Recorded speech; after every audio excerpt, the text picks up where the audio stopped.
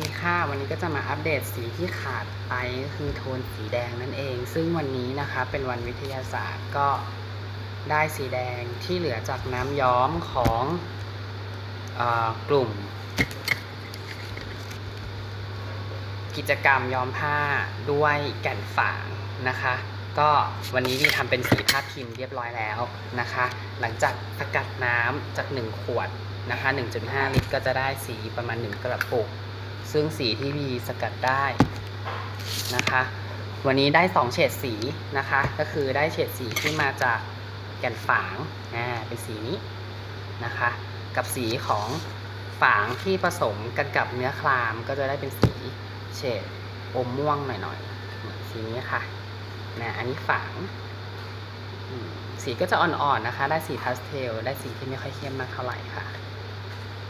อ่าขอบคุณมากนะคะพี่ฝน